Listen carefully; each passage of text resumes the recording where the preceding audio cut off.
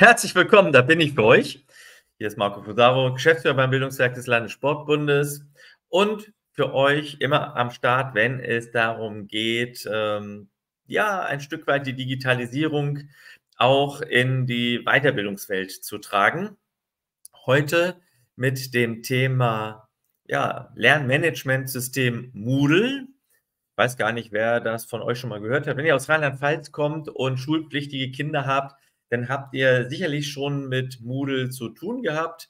Wenn ihr äh, schon mal bei einem Seminar oder Workshop des Bildungswerks teilgenommen habt, dann habt ihr auch schon mit Moodle zu tun gehabt, denn wir stellen seit einigen Jahren immer zusätzliche Informationen der äh, Referentinnen und Referenten oder Bilder aus dem Workshop auf unserem Lernmanagementsystem. Das nennt sich mein Bildungswerk Sport bildungswerksport.de, also unter mein.bildungswerksport.de kann man das aufrufen, basiert aber im Hintergrund auf Moodle.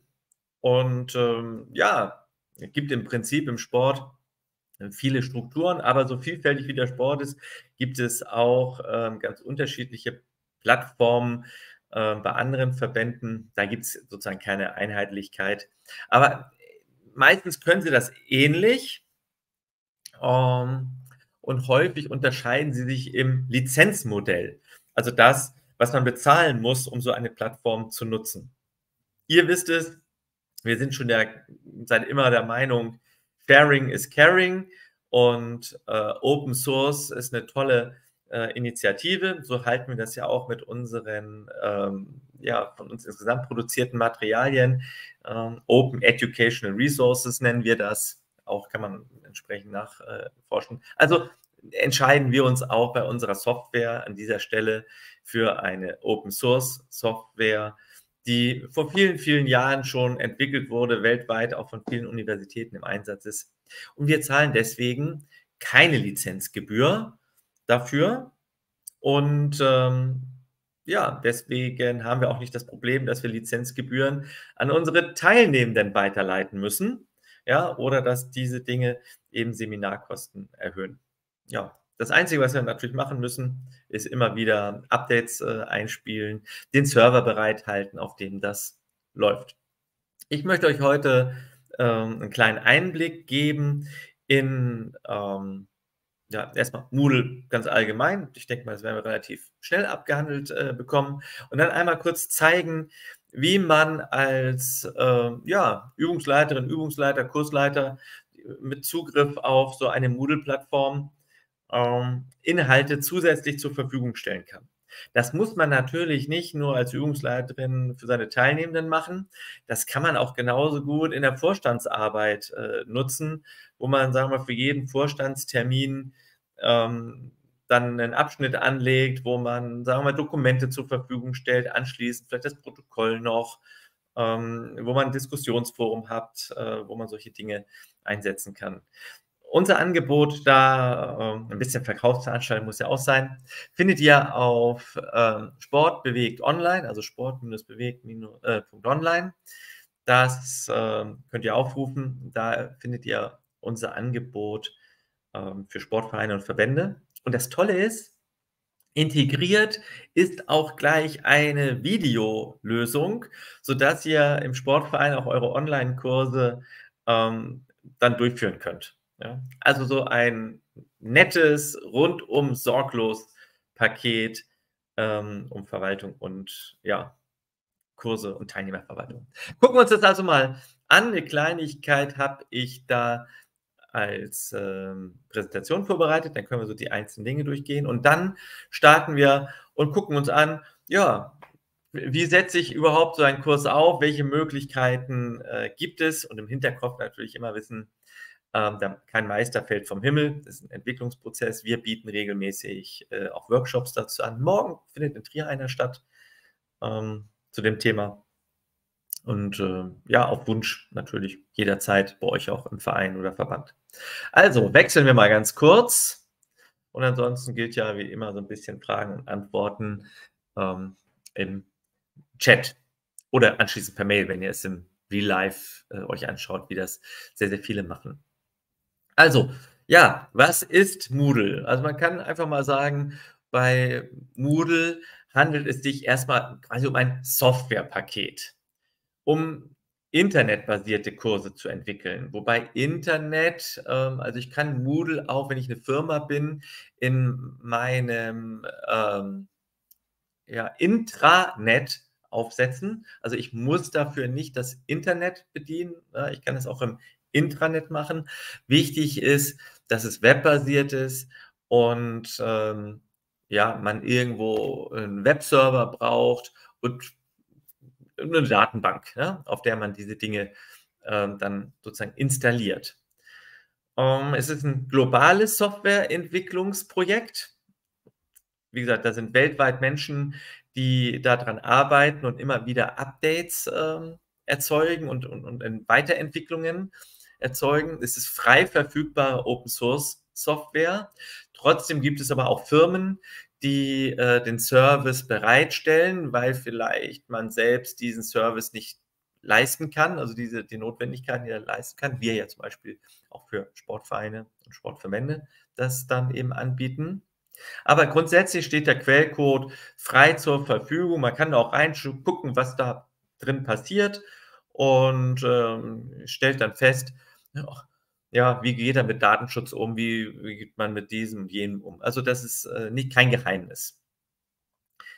Moodle kann auf jedem Rechner installiert werden, der äh, PHP verarbeiten kann und eine SQL-Datenbank unterstützt. SQL ist strukturierte Abfragesprache und PHP ist so ein Modewort, ist sozusagen, PHP ist irgendwie ähm, so ein Preprozessor, das ist eine Programmiersprache, die wird auf dem Server interpretiert, dann kommt HTML raus, aus dem ja dann eben die Internetseiten bestehen.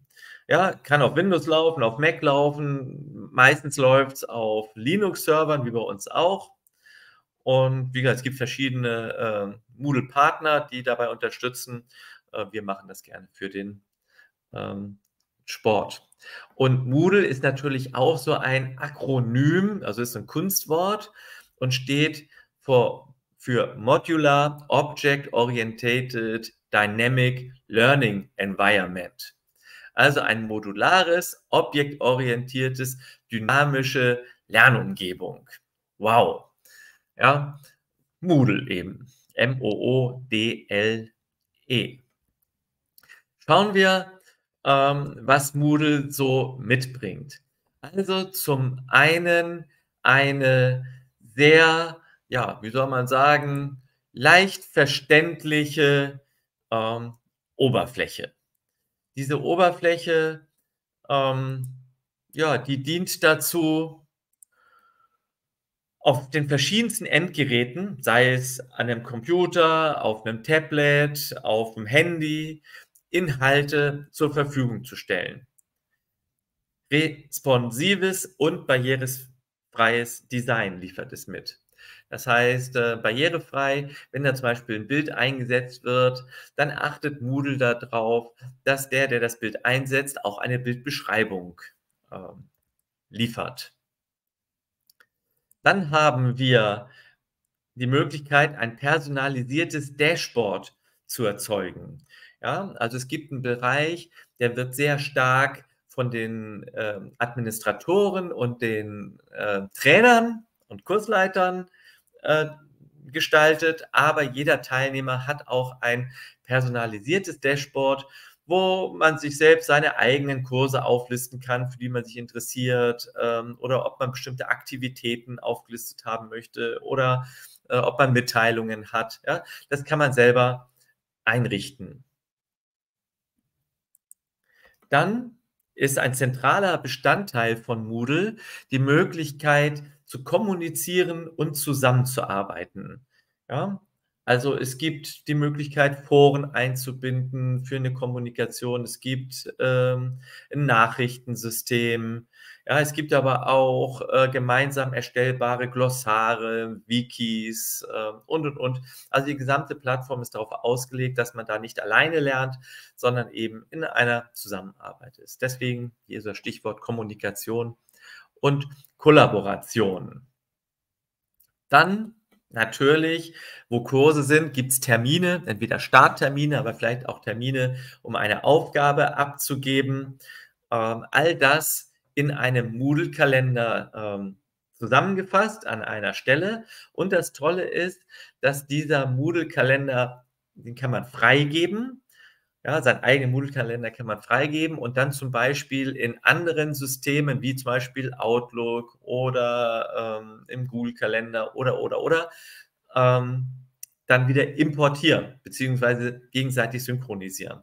Das heißt, ähm, die Termine und Daten, die in Moodle erzeugt werden, die erscheinen dann auch in euren ja, anderen Kalendern integriert.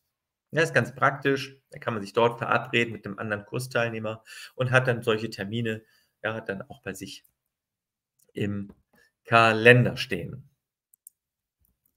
Dann ähm, haben wir eine relativ einfache und bequeme Dateiverwaltung in Moodle integriert. Ja, weil man fragt sich ja, ja was passiert mit ähm, irgendwelchen Dokumenten, äh, Lerninhalten, äh, Bildern, die vielleicht etwas beschreiben, äh, sonstigen Dateien, Videos oder, oder, oder.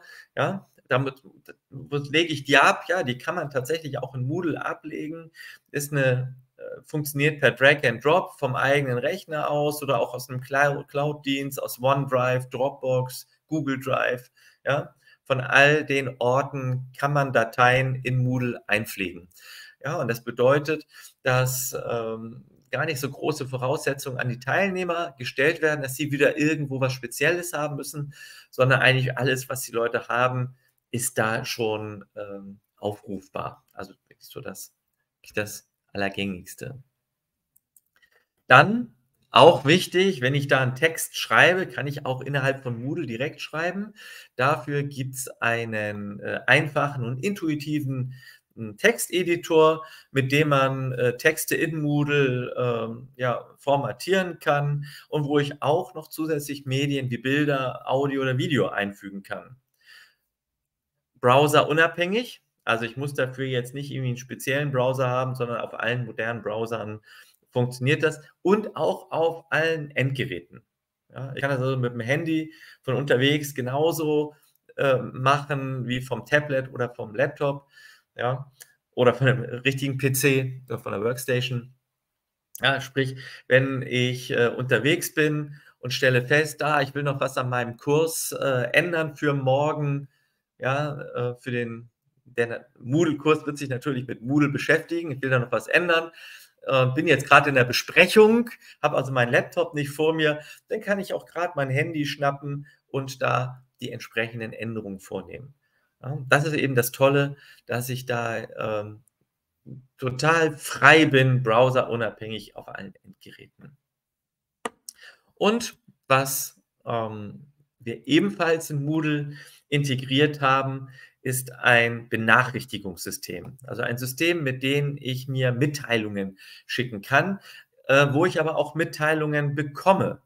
Ja, wenn ich also zum Beispiel äh, mein Kursleiter, meine Kursleiterin einen, einen neuen Inhalt freischaltet, dann kann die Kursleiterin mir eine Mitteilung schicken, die geht, äh, das hängt jetzt davon ab, wie ich das selber für mich einstelle als Teilnehmer ob die intern im Moodle-System bleibt oder ob diese Mitteilung auch an äh, ja, mein E-Mail-Konto weitergeleitet wird, weil ich vielleicht nur ähm, zweimal pro Woche irgendwie mein Moodle-Konto aufrufe, ja, und dann da reinschaue. Also die Möglichkeit des Pushs von äh, Mitteilungen ist da gegeben. Und da können auch Teilnehmer untereinander miteinander chatten. Ähm, in der Gruppe, also in vielleicht Teilgruppen kann man chatten, in innerhalb eines bestimmten Kurses kann man chatten, in einem bestimmten Kursbereich kann man chatten. Ähm, die verschiedensten Kursleiterinnen untereinander können chatten, ja, und man kann dann auch ähm, entsprechende ähm, Dokumente mit anhängen. Also man hat ein Mitteilungssystem mit dabei. Und Achtung, bisher alles immer noch ja, lizenzgebührfrei, kostenfrei einsetzbar. Das Einzige, was man braucht, ist jemanden, der euch das vielleicht aufsetzt oder ja. Ist aber keine Raketenwissenschaft. Deswegen können wir das auch zu einem schmucken Preis äh, für euch ähm, anbieten. Und jetzt wieder nochmal so ein Blick, auch vielleicht für sich selbst, aber jetzt hier mal so ein Blick, äh, so eine Beispieldarstellung. Ähm, die Kursleiter und Referenten, Trainer, wie man sie nennen will, können den Lernfortschritt ihrer Gruppe beobachten. Also das, was früher der Lehrer oder die Lehrerin irgendwie noch mal in so einem zusätzlichen Notizbuch eintragen musste, welche Noten welcher Schüler hatte oder ob er einen Test bestanden hat oder nicht, äh, wie die Beteiligung ist. Das kann äh, der Trainer, die Trainerin in Moodle auch sehen und kann dann zum Beispiel feststellen, äh, beziehungsweise das steckt auch wieder, KI ist überall, auch hier ein Stück weit KI drin. Äh, Moodle spürt zum Beispiel, wenn ein Teilnehmer sich länger nicht beteiligt hat. Dann gibt es für den Trainer zum Beispiel, wenn man möchte, das kann man also aktivieren, kann man auch ausschalten, eine Mitteilung. Ähm, die und die Teilnehmer äh, laufen Gefahr, das Ziel nicht zu erreichen. Ja, und dann bekommt man einen Hinweis, kann sich die Situation anschauen und kann dann natürlich mit den Teilnehmern ins Gespräch gehen. Da sagt man natürlich nicht, Moodle hat mir gerade mitgesagt, du warst die letzten drei Wochen faul, ja, sondern da ähm, sind ja die Trainerinnen und Trainer oder Übungsleiter ja, geschult, ja, mit solchen Dingen äh, geschickt umzugehen und dann wieder rein zu motivieren. So sieht das aus, die grob, grobe Funktionalität von Moodle, also was Moodle so mitbringt. Und jetzt gucken wir uns einfach mal an, wie das live aussieht. Ja, ähm, und ich gucke einfach mal, dass ihr vielleicht ein Gefühl dafür bekommt, in welchen Schritten man einen Kurs aufsetzen kann. Und äh, wenn man schon eine bestimmte Kursidee hat, ähm, hilft das natürlich sehr. Wenn man nur eine grobe Idee hat, äh, dann empfehle ich euch an dieser Stelle ähm, unseren Kursgenerator, den ihr natürlich die Aufgabe geben könnt, setze ähm, das und das Kursziel, den, den Kursinhalt ähm, in eine sinnvolle ähm, Lernsituation für die Lernplattform Moodle um. Ja? Das heißt, ihr übertragt dann äh, diese Aufgabe unserem Kursgenerator. Der produziert für euch dann eine Struktur, mit der die man dann in Moodle nachbauen kann. Und da kann man dann auch sagen, unserem Kursgenerator, dass entsprechende äh, Lernbausteine von unserem Kursgenerator generiert werden sollen. Die müsst ihr natürlich mit eurem eigenen Sachverstand immer nochmal gegenchecken, das ist ja ganz klar.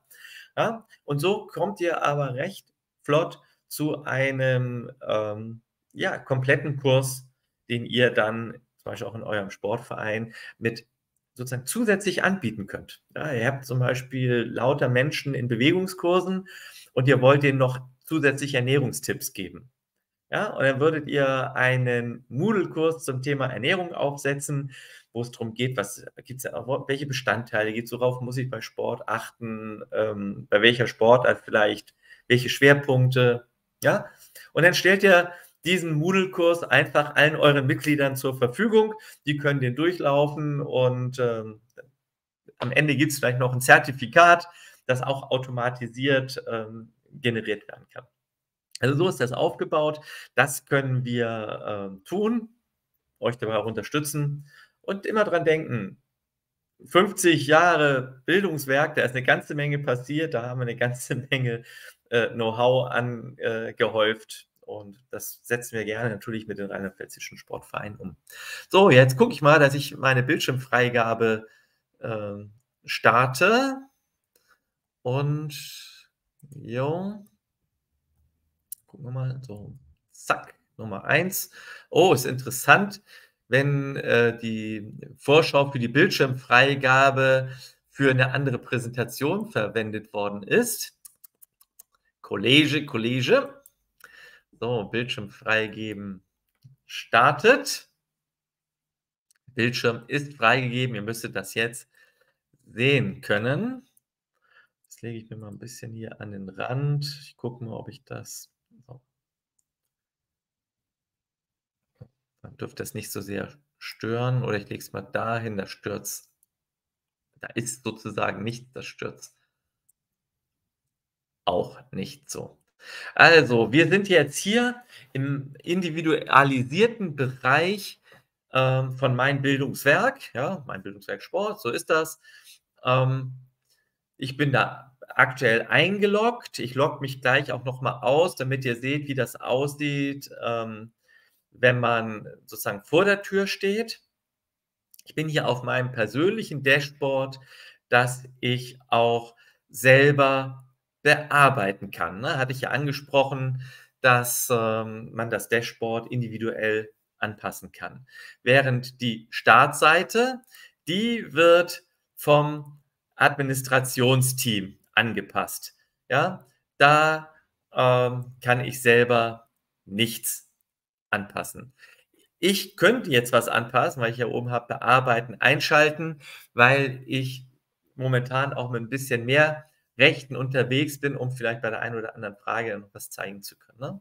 Also hier sozusagen Website-Administration, da merkt man, dass ich hier mit Administrationsrechten unterwegs bin.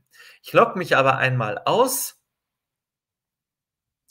Ja, merken wir auch, okay, das ist mein Symbolbild. Logge ich mich aus, Logout.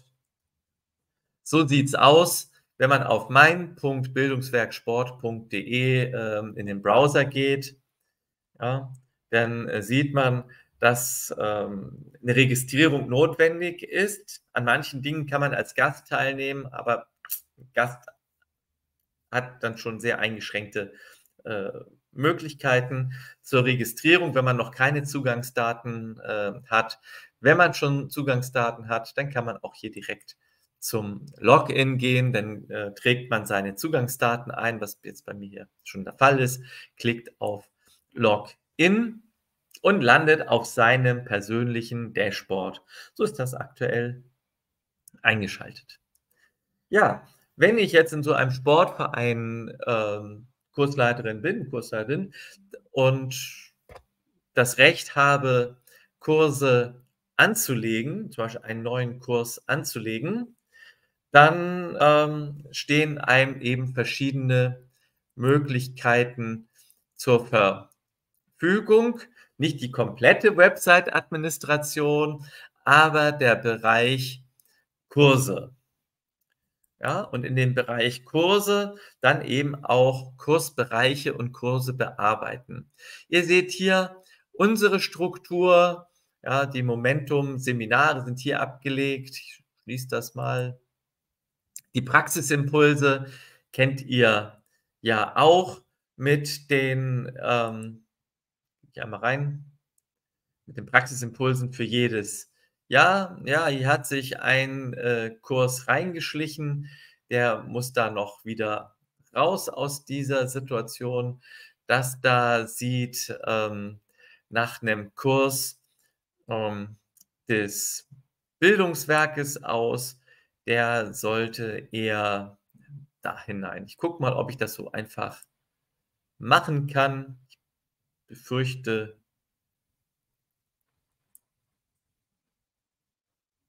ich befürchte nicht. Ah, ich muss da reingehen und dann, nee, der ist nicht. Seht ihr schon kurz, wie, wie das funktioniert. So ein Kurs sieht so aus. Ah, er ist jetzt hier eingereicht in Praxisimpulse. Da gehört er nicht rein. Er gehört in ähm, Online-Kurse, Bildungswerk, Körperwahrnehmung. Da gehört er rein, ist auch ein Kurs von 22.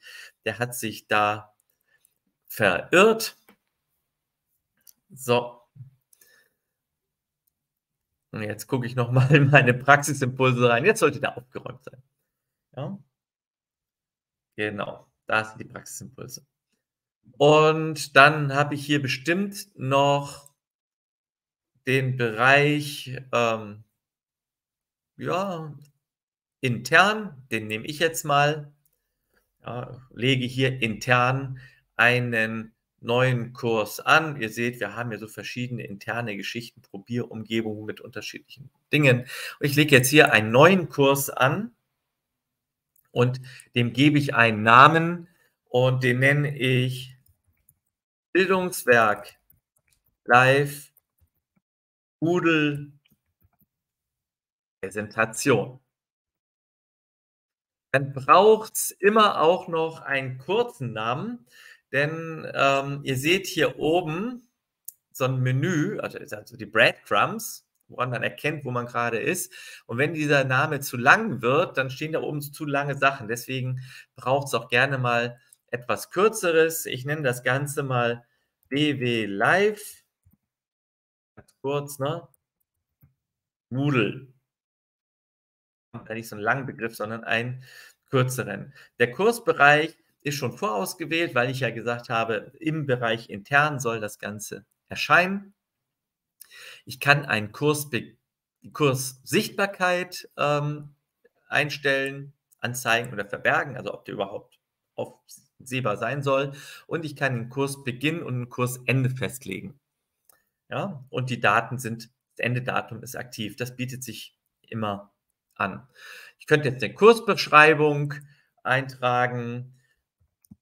Dieser Kurs ist während einer Live-Präsentation entstanden.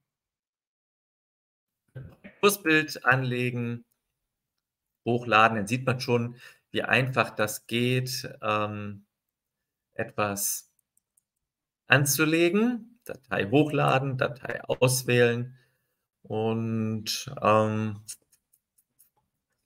ich nehme hier mal aus den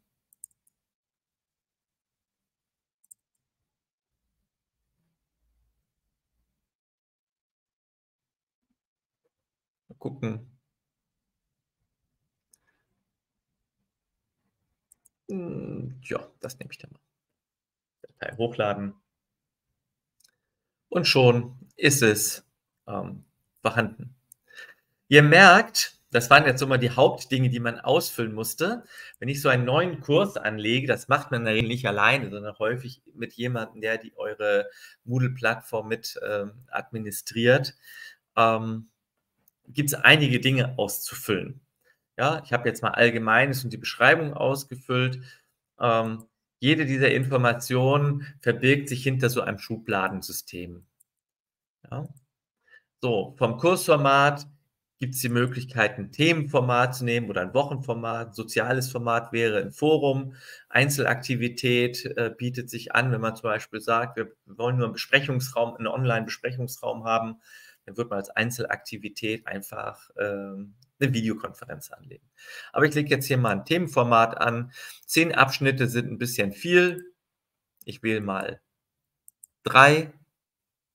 Hier geht es darum, verborgene Abschnitte werden als nicht verfügbar gezeigt. Alle Abschnitte auf einer Seite, das sind so Standardeinstellungen, die kann man so übernehmen. Die Darstellung, man kann, das Ding ist auch mehrsprachig, lässt sich äh, mehrsprachig anlegen. Ähm, die Frage ist, ob Bewertungen angezeigt werden sollen, Aktivitätsberichte. Ich sage hier mal ja, Aktivitätsdaten anzeigen ja. Und jetzt geht es darum, wie groß auch Dateien sein dürfen, die man hochladen kann. Ihr seht, da kann man auch Monsterdateien hochladen. Das ist gerade gut, jetzt vielleicht auch im Sportbereich, wenn man mal so ein Beispielvideo hochladen möchte und man jetzt keinen äh, Account bei ähm, YouTube oder bei Vimeo zum Beispiel hat. Ja, und man möchte Dateien trotzdem an Video abspielen äh, können, dann kann man solche bis 300 Megabyte hochladen. Geht dann noch mehr? Ne, 300 Megabyte ist bei uns die maximale Größe. Und wir können eine Abschlussverfolgung aktivieren. Das heißt, der Teilnehmer, die äh, Teilnehmerin kann sehen, was sie tun muss, um zum Beispiel einen Lerninhalt ähm, abzuschließen. Man kann sagen, in dem Kurs soll es unterschiedliche Arbeitsgruppen äh, geben. Das lasse ich jetzt in diesem Fall einfach mal weg und sage keine Gruppen. Aber ich könnte auch für eine Gruppenarbeit das einrichten. Ähm, wir können, falls die äh, Begriffe nicht passieren, äh, nicht passen, Teilnehmerin oder Trainerin, könnte man jetzt die ja auch noch in diesem Kurs passend umbenennen und ich könnte jetzt hier noch ein paar Tags auswählen. Was ich jetzt mache, ist sage einfach speichern und anzeigen Und wir sehen jetzt, dass dieser Kurs Bildungswerk Live Moodle Presentation im Bereich Kurse intern, und hier ist jetzt taucht dieser Kurs, Kursname auf, ähm, schon erscheint. Mit einem Abschnitt Allgemeines, ja, in dem schon die, äh, ein Forum angelegt ist und, einen, und, und den eben gerade genannten drei Abschnitten, den Abschnitt 1, der leer ist, Abschnitt 2, der leer ist und Abschnitt 3, der leer ist. Und wir haben hier oben noch so ein kleines Menü. In die Einstellung komme ich wieder an die Stelle, wo ich eben gerade war. Und bei den Teilnehmerinnen könnte ich jetzt ähm, Teilnehmer einschreiben. Im Moment haben wir da keine Teilnehmerin drin. Ich könnte jetzt mal sagen, ähm, mich gibt es ja da nochmal. Administrator, sondern so als ähm, Mensch, ja, und sage, ich schreibe dich ein als Teilnehmer und sage dann hinzufügen und schon haben wir die Menschen eingefügt. Das geht manuell, so wie ich das jetzt gerade gemacht habe. Das geht aber auch, indem man eine Excel-Tabelle hochlädt, zum Beispiel, ja, und die dann einschreibt. Und äh, jetzt sehe ich zum Beispiel schon, der Marco Fusaro, der hatte noch nie Zugriff auf diesen Kurs. Ja, also da sieht man schon, kann ich als Trainer dann erkennen, ähm, wie ist die Aktivität. Dann gibt es natürlich den eben gerade ja schon genannten Bereich Bewertungen. Aber dann sehen wir auch, der Marco, der hat noch nichts gemacht. Also gibt es da auch noch nichts ähm, zu bewerten. Wir haben die Möglichkeit, Berichte zu generieren über Logdaten, Kursaktivitäten, die Kursbeteiligung, also alles das, was ich so als Trainer brauche, ja, um so eine Gruppe ähm, zu handeln und entsprechend ähm, ja, zu orchestrieren. Und dahinter gibt es dann noch ein bisschen mehr. Ja, Fragen, wenn ich ein Quiz mache, äh, Badges, das sind so Dinge, mit denen man so kleine Auszeichnungen vergeben kann. Ich kann noch mal prüfen, ob mein Kurs barrierefrei ist.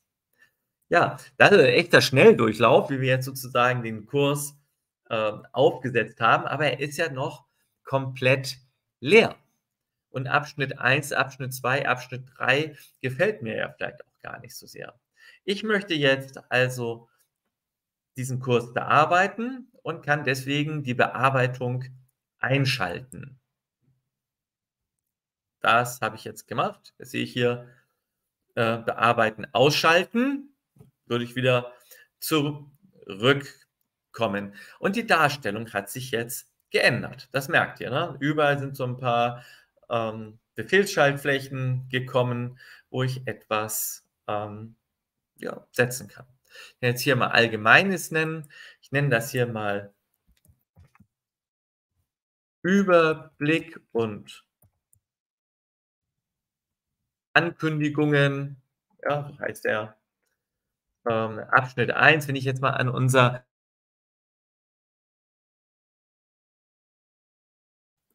könnte ich mal so eine Einführung machen. Ernährung im Sport. Ja, Rechtschreibung muss ich schon noch ein bisschen aufpassen. Und könnte jetzt hier ähm, den nennen vielleicht. Makro Makronährstoffe, so nenne ich das mal. Ich bin kein Ernährungsexperte. Und dann nenne ich das hier Mikronährstoffe. Und ja. Jetzt habe ich also schon mal, wenn ich das jetzt ausschalte, das Bearbeiten, geht es auch an der Stelle, habe ich schon ein paar Dinge verändert. Sie sind natürlich immer noch leer. Aktiviere ich mal wieder das Bearbeiten. Und ähm, ja, woraus besteht denn so ein Kurs? Er besteht aus Lerninhalten und Lernaktivitäten. Bei dem einen ähm, muss ich mich mit etwas auseinandersetzen, was mir äh, jemand gibt. Bei dem anderen muss ich etwas selber tun. Naja, okay, lesen ist auch ein Tun, aber es unterscheidet sich ja dann doch. Also bei dem einen ähm, habe ich eher so etwas Konsumierendes und bei dem anderen habe ich etwas Generierendes. Das werden wir gleich sehen. Das sagen wir auch eben Aktivität oder Material. Ähm, wieder auf das Plus oder das hier. Sehe ich schon mal, ähm, das, ich, das ignorieren wir mal die Favoriten. Ähm, wir haben grundsätzlich mal alle Aktivitäten und Arbeitsmaterialien, die ist, äh, aktuell jetzt auf unserer Plattform zur Verfügung gestellt werden. Und dann gibt es das nochmal eine Unterteilung in Aktivitäten oder Arbeitsmaterialien. Und ihr seht bei den Arbeitsmaterialien, da geht es tatsächlich eher so um was Informatives. Ne? Also ein Buch kann ich zur Verfügung stellen, eine Datei, in der ich lesen kann, ähm, eine PDF-Datei, ähm, ein Text- und Medienfeld, eine Textseite, ein Verzeichnis mit, mit äh, Dateien. Ja, also da werden mir Materialien zur Verfügung gestellt und Aktivitäten. Da sehen wir ja, vielleicht eine Abstimmung, eine Aufgabe, die zu lösen ist, eine Diskussion, die ich zu führen habe, ein Glossar, das ich zu pflegen habe, ja, Lektionen, Umfragen, Tests, ja, also alles das, äh, da passiert etwas, äh, da muss ich ein bisschen mehr tun.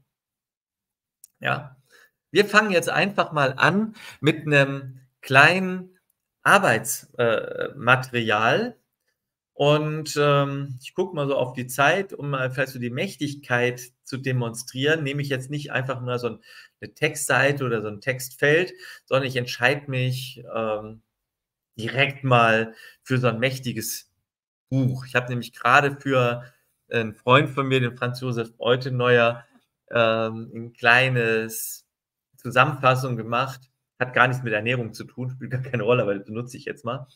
Ähm, mehrseitiges Word-Dokument zum Thema der kleine Prinz und Hospizarbeit.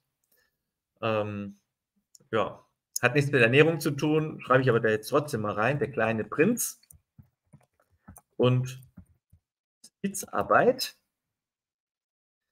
Ähm, immer da, wenn da so ein I davor ist, habe ich so ein erforderliches Feld. Beschreibung kann, muss nicht. Darstellung schaue ich mir mal an. Kapitelgliederung. Ja, Zahlen, eigene Überschriften, die wollen wir gleich nehmen. Die sind nämlich im Dokument drin.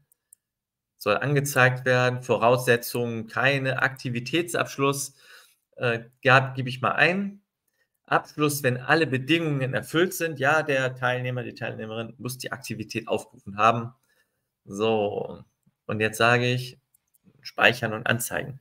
Jetzt habe ich das Buch angelegt, aber es ist überhaupt ja gar nichts drin. Es ist ein leeres Buch und deswegen sagt er zu mir, ich soll auch ein Kapitel äh, hinzufügen. Aber was ich jetzt mache, ich sage aus Microsoft Word importieren.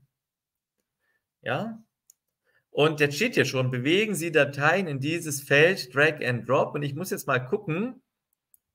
Schöne ist ja, dass ihr das alles immer live mitbekommt. Hier ist dieses Word-Dokument.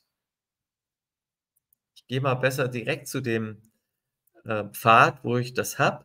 Jetzt nehme ich das von hier und ziehe es dahin. Ja? Und sage jetzt Import. Und Daumen drücken, hoffentlich funktioniert es. Import läuft, Neuverlinkung läuft. Weiter. Und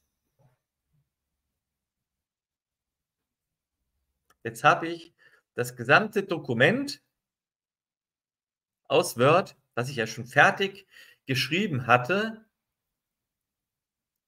eingefügt. Wahrscheinlich habe ich jetzt irgendwie einen Fehler gemacht, weil ich ein bisschen schnell war. Ich habe nämlich nicht gesagt, dass ähm, in meinem Dokument ähm, es auch Unterüberschriften gibt. Dann hätte ich jetzt nämlich das in mehreren Kapiteln. Jetzt habe ich das alles in einem Kapitel. Mein Fehler, weil es jetzt sozusagen auf die äh, Schnelle ging. Und ähm, ja, gucke ich mir mal an, wie das für einen Teilnehmer aussieht. Schalten wir das Bearbeiten aus. Ich gehe in meinen Übersichtskurs, sehe jetzt Ernährung im Sport. Wenn es zu ist, sieht es halt so aus. Der kleine Prinz. Hier weiß ich schon, was ich tun muss, damit ähm, die Aufgabe als erfüllt angezeigt werden kann. Ich klicke es entsprechend an und jetzt wird mir ähm, die Sache angezeigt. Achtung, ich bin ja hier jetzt ähm, nicht der Teilnehmer, sondern der Ersteller. Deswegen sieht das bei mir immer noch mal in Tick anders aus. Ne? Mit dem hier oben, das hat, dann hat der normale Teilnehmende ähm, nicht. So, jetzt gehe ich mal wieder zurück. Und ich gucke mal, ob ich in einem zweiten Browser, manchmal klappt das ja,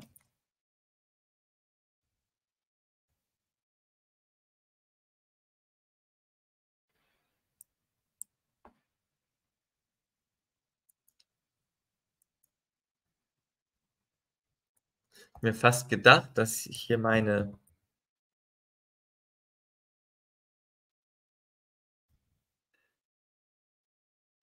die Daten bestimmt nicht funktionieren. Doch, sie funktionieren. Ui, Glück.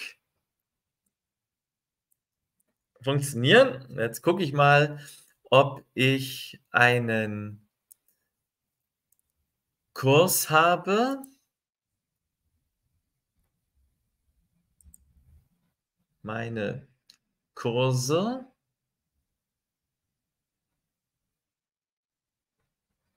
Da war ich halt jetzt noch nicht drin, gell? Das ist immer dann, wenn man so ein bisschen spontan zwischendurch was startet.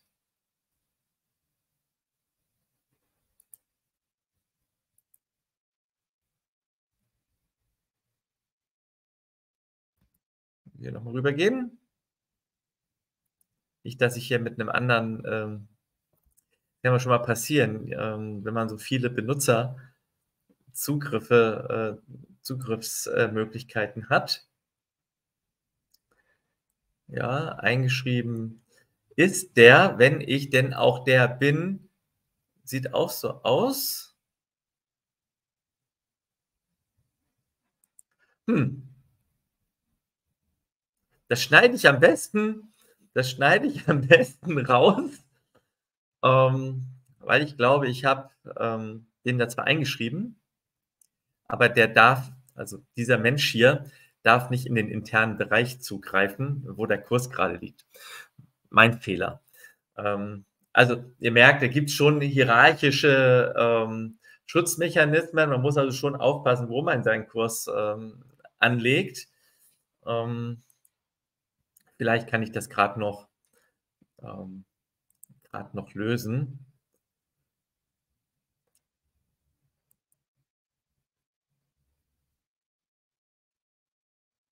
Und jetzt gucke ich nochmal. Sichtbar soll er auch sein. Ja, ja. Ah, das Problem ist ein anderes. Der ist erst ab morgen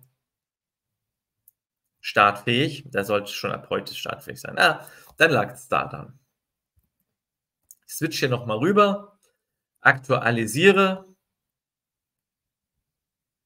Ah, dann taucht er auch auf. Bildungswerk Live, Moodle-Präsentation.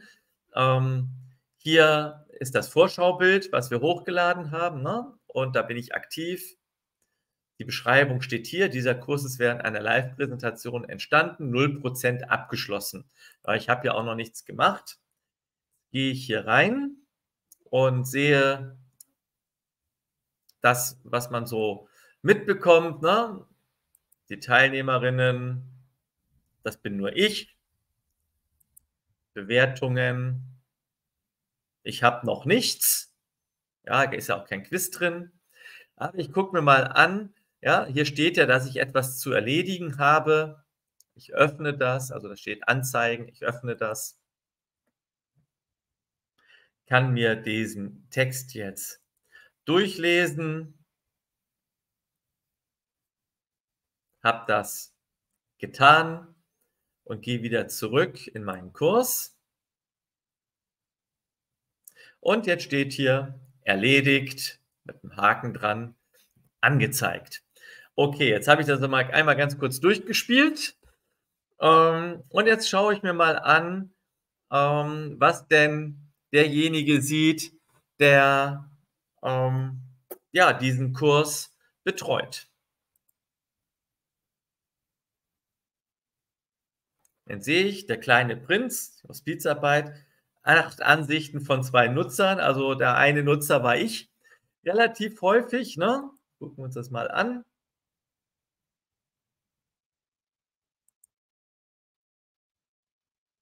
Nochmal. Bin ich an diese Stelle gekommen. Hoppla.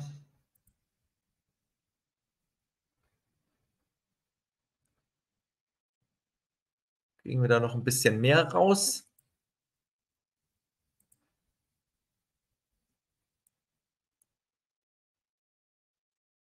Ja, das denke ich schon.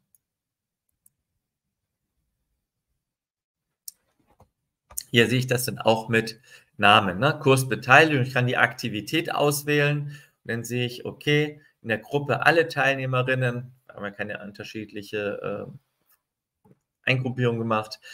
Zugriffe auf ein Buch, auf dieses Buch. Marc Fusaro hat darauf zugegriffen. Ich kann das auch, wenn ich will, wieder zurücksetzen, dass diejenige Person das ähm, neu machen muss. Ja, und dann gucke ich hier nochmal rein, Aktivitätsabschluss. Auch hier sehe ich, würde ich dann alle Aktivitäten, die es zu erledigen gibt, könnte man äh, sehen und dann sehe ich für jeden Teilnehmer, ob er das gemacht hat oder nicht. Wenn ich will, kann ich das natürlich auch wieder für mich herunterladen. So sieht das aus, wenn man einen kleinen äh, Inhalt zur Verfügung stellt. Das ist so bei, bei Text ähm, manchmal ganz gerne genommen. Wir gucken uns jetzt nochmal schnell an mit einem weiteren äh, Inhalt, vielleicht ein Video, das man bei YouTube gefunden hat zum Thema äh, Makronährstoffe.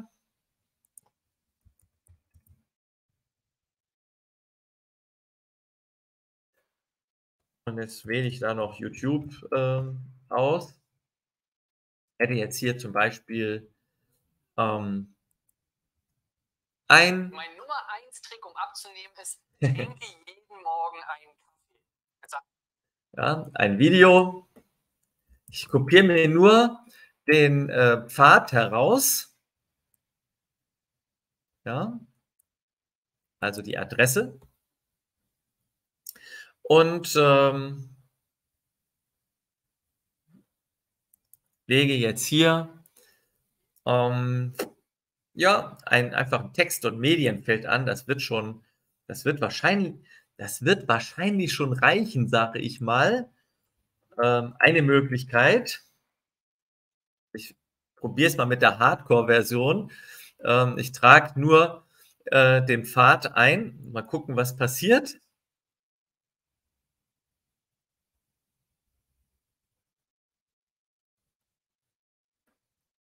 Hm, mag er nicht.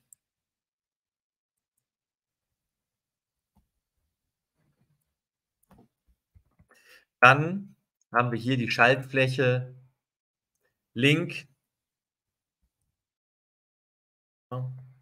Videolink wählen wir direkt ein.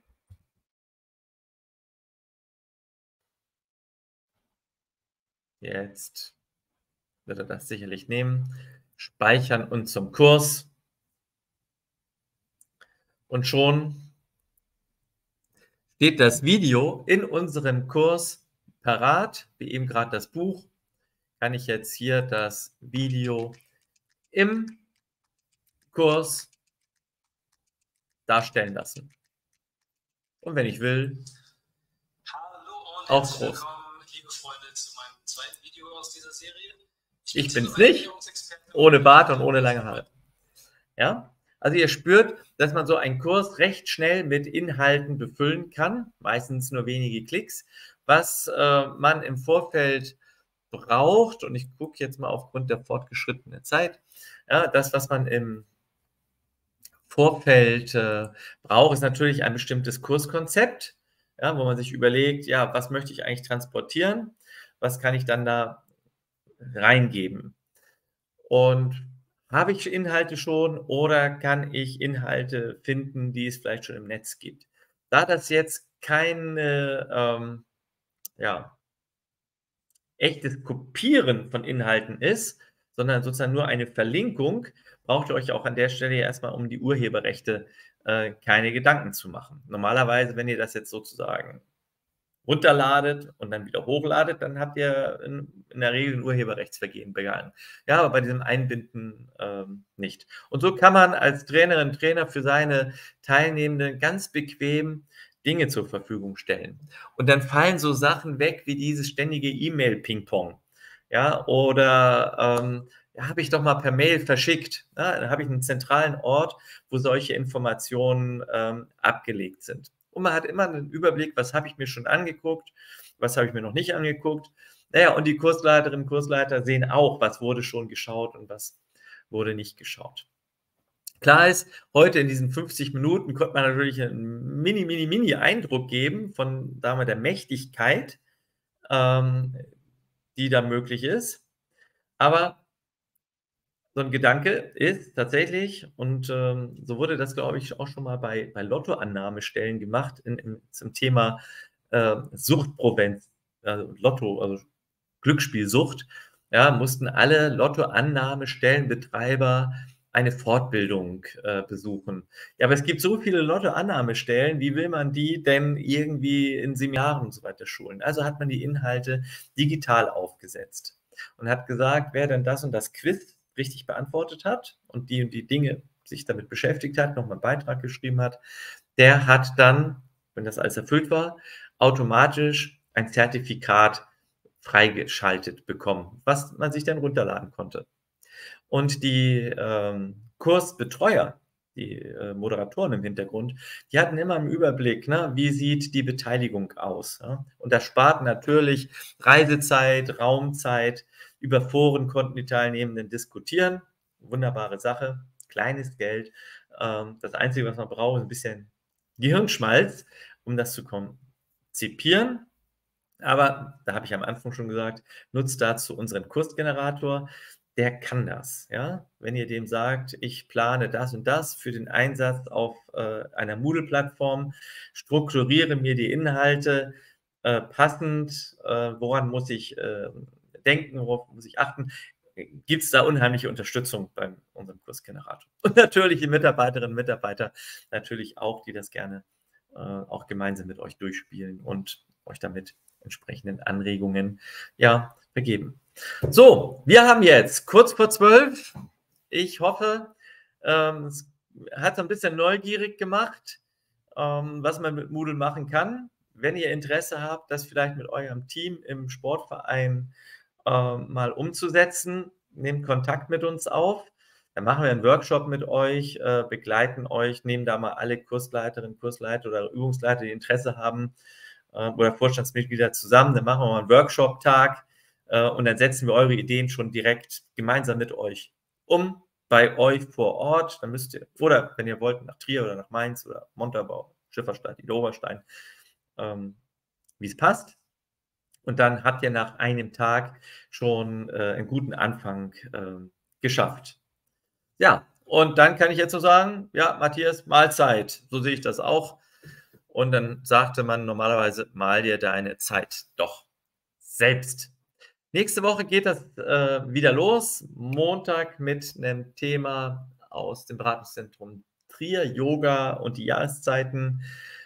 Ähm, Mittwochabend werde ich da sein, ähm, ja, mit so einem Halbzeitblick auf das, was die Koalition in Berlin geschafft oder noch nicht geschafft hat, mit dem Blick, äh, mit dem Weiterbildungsblick. Äh, und ansonsten gibt es natürlich auch wunderbare Themen. Ihr findet diese auf bildungswerk.live. Vielen Dank für eure Aufmerksamkeit. Tschüss und bis kommende Woche. Ein schönes Wochenende euch allen. Bye.